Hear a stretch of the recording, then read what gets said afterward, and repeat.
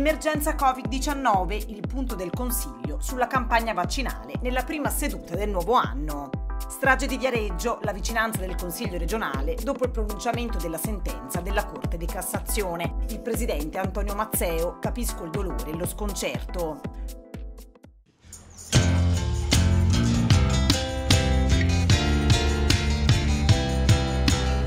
La prima seduta del Consiglio regionale del 2021 si è aperta all'insegna dell'emergenza da Covid-19. Questo il punto dei consiglieri sull'andamento della campagna vaccinale in Toscana. Io sono orgoglioso di come eh, il sistema sanitario abbia reagito a questa fase nuova, quella della vaccinazione. Abbiamo messo in campo tutte le azioni eh, che servivano perché tutti i vaccini che arrivavano nel tempo che arrivava la nuova ondata, nuovo, eh, la nuova consegna di vaccini fossero effettivamente eh, dati a tutti i medici, a tutte le persone che erano in prima linea. Ora è importante guardare avanti, è importante prepararsi anche al futuro, fare in modo che sul territorio tutti possano essere vaccinati. Bene l'apertura dell'assessore Bezzini anche a tutte quelle categorie sanitarie di liberi professionisti che ancora non sono stati vaccinati. Loro davvero sono la nostra prima linea e a tutti loro dobbiamo dare la possibilità di lavorare in sicurezza.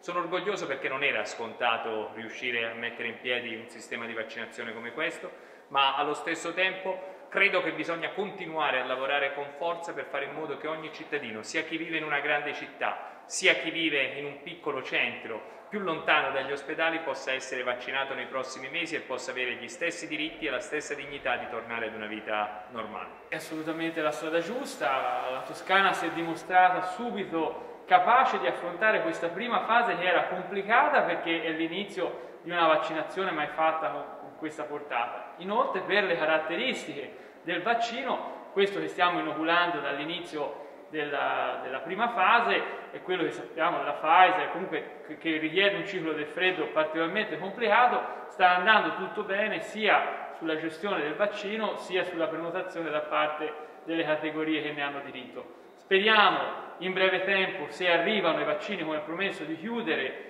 la vaccinazione di tutta la prima fase, quindi tutti i sanitari e gli ospiti dell'RSA e dell'RSD. In Toscana vacciniamo anche le residenze sanitarie per i disabili. Questo permetterà di affrontare i mesi successivi con una forte resilienza da parte del sistema sanitario. E attendiamo, speriamo presto, l'autorizzazione dell'altro vaccino, quello di AstraZeneca, che permetterà di affrontare, invece di allargare in maniera significativa il numero di soggetti da vaccinare.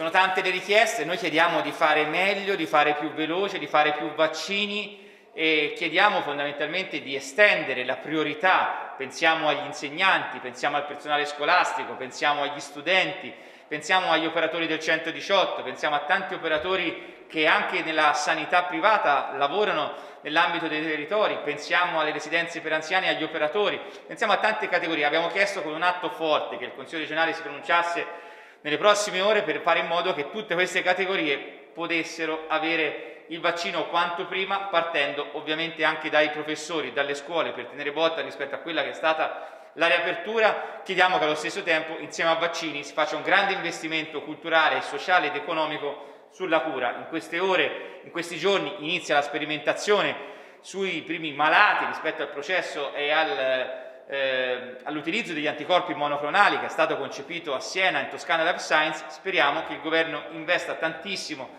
su questa cura e quanto prima possa essere a disposizione per fare in modo di abbinare la propria attività a quella dei vaccini. I vaccini naturalmente partono da due meccanismi d'azione diverse, quelle che, sono, che arriveranno in Italia e eh, avranno una inoculazione temporalmente, quindi cronologicamente differente.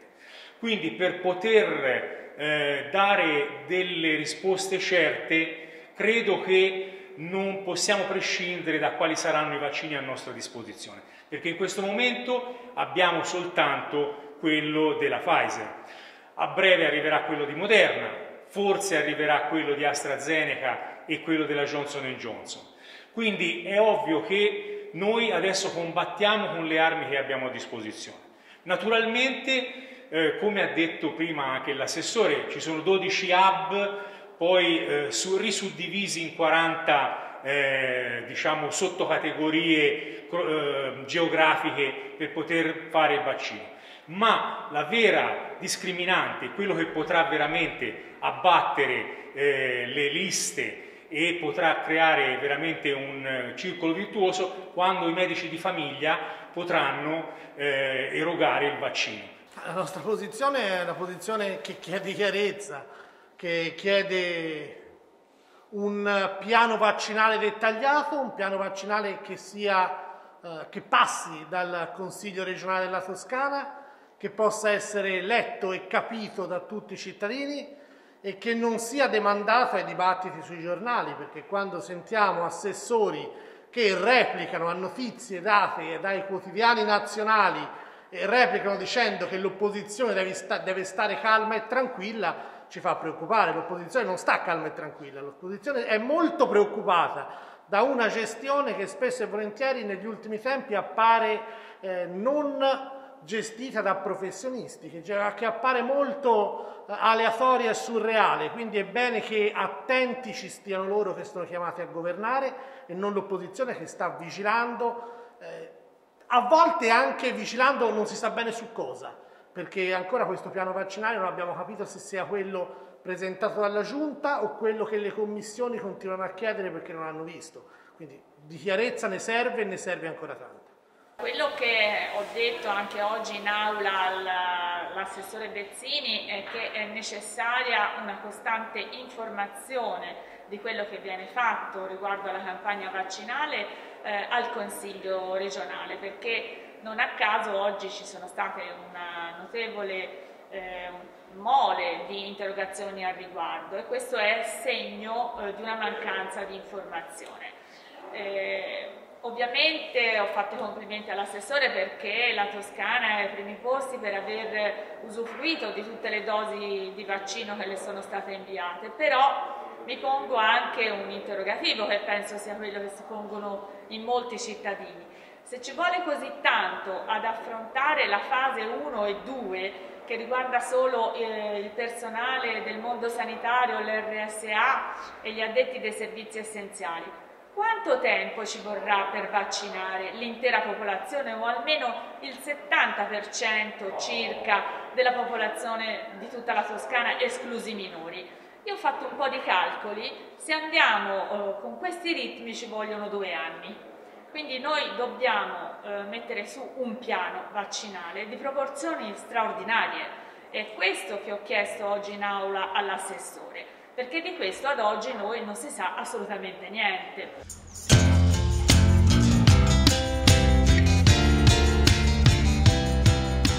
Una sentenza dura da accettare. Voglio esprimere a nome mio e del Consiglio regionale la vicinanza ai familiari delle vittime. Queste le parole del presidente dell'Assemblea toscana Antonio Mazzeo a seguito del pronunciamento della sentenza della Corte di Cassazione sulla strage di Viareggio, il disastro ferroviario avvenuto il 29 giugno del 2009, nel quale persero la vita 32 persone. Prescrizione per gli omicidi colposi e nuovo processo di appello per disastro colposo nei confronti degli ex vertici delle ferrovie. Una sentenza sentenza che ha completamente ribaltato quella pronunciata dalla Corte d'Appello di Firenze. Anche qui la scelta di votare tutti insieme un atto in questa direzione, un atto eh, che come dire, esprima eh, preoccupazione per quello che è accaduto a Roma negli scorsi giorni eh, è segno di intelligenza, è segno di capacità da parte del Consiglio regionale di sapere intercettare il sentire dei, dei cittadini. Quindi noi con questa uh, mozione abbiamo chiesto alla Giunta di attivarsi verso il Governo, verso la conferenza delle regioni, al fine di favorire una riflessione circa l'istituto della prescrizione per i reati gravi, quelli colposi come è avvenuto a Viareggio. È una scelta forte, non era scontata che il Consiglio regionale facesse questa scelta, ma noi crediamo che oggi la prima cosa che noi dobbiamo è vicinanza a quelle famiglie che stanno vivendo un dolore grande come quello della morte dei loro, dei loro cari. Allora con questo atto noi esprimiamo vicinanza a tutte le famiglie delle vittime e gli diciamo che l'ente regione è al loro fianco. Noi già altre volte siamo usciti con atti condivisi da questo Consiglio regionale e anche qui c'era un nostro atto, un atto del PD, abbiamo deciso di farne uno unitario per esprimere vicinanza alle famiglie delle vittime della strage, a tutti coloro che da sempre cercano la verità e chiedono semplicemente che quanto successo a Viareggio non si verifichi più. La, la Suprema Corte ha annullato l'incidente sul lavoro e quindi ha mandato in prescrizione l'omicidio colposo.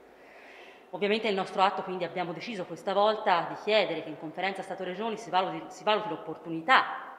di evitare che vada in prescrizione per reati come quelli delle stragi l'omicidio colposo, perché riteniamo che veramente ci siano famiglie che chiedono giustizia, verità e chiedono, ovviamente nessuno riporta indietro i loro familiari, però chiedere, l'hanno sempre fatto con forza tramite le associazioni, che eh, fatti similari non accadano più e che quindi si prendano tutti i provvedimenti per non farli accadere, debbano essere dalle istituzioni sempre supportati in ogni sede. Questo è la voce che arriva da questo Consiglio regionale, anche qui in modo del tutto univoco, perché non c'è differenza di colore, ma c'è semplicemente la difesa e la vicinanza a un territorio che ha bisogno anche delle istituzioni. Io sono abituato alle sentenze rispettarle e non a commentarle. Sicuramente arriva una sentenza che non è quella che noi principalmente come istituzione ci aspettavamo, ma penso che i, familiari e i congiunti delle vittime non si aspettavano. È una, è una, sentenza che a mio modo di vedere non rende giustizia a chi ha perso la vita quella notte a Viareggio, ma ovviamente non ho gli elementi io per poterla confutare. Se dopo tanti anni si arriva a questa conclusione, evidentemente chi, chi è arrivato a questa conclusione ha avuto la, la la possibilità di arrivarci. Eh, resta l'amarezza, resta l'amarezza indubbia di, di, tutti i toscani, al di là della collocazione politica, al di là del, dell'avere o meno dei congiunti, degli amici, dei familiari quella notte nella strada di Viareggio, è, è una sentenza che lascia l'amaro in bocca. È stato redatto un documento eh, che ho firmato eh, perché lo condivido appieno, è una sentenza vergognosa eh, che non ci saremmo mai aspettato, soprattutto per il um, dolore eh, di questi familiari che hanno visto eh, morire per la seconda volta i propri, i propri congiunti. Ecco, io conoscevo molti di, di quelle persone che sono morte eh, perché mm, erano miei vicini di casa e quindi sono particolarmente colpita da questa sentenza e la ritengo veramente ingiusta. Eh, i morti non possono andare in prescrizione e questo deve farci capire una volta per tutte che, quel, eh, che la prescrizione deve essere abolita, soprattutto nei casi in cui ci sono dei, eh, delle, delle persone che muoiono a mio avviso non dovrebbe proprio esistere mai, dal momento che eh, viene reso noto un reato e si inizia un procedimento eh, dovrebbe sempre fermarsi però a maggior ragione in questo caso, ecco, non, credo che non ci siano veramente parole per esprimere il disappunto e la vergogna come cittadina rispetto a questa sentenza.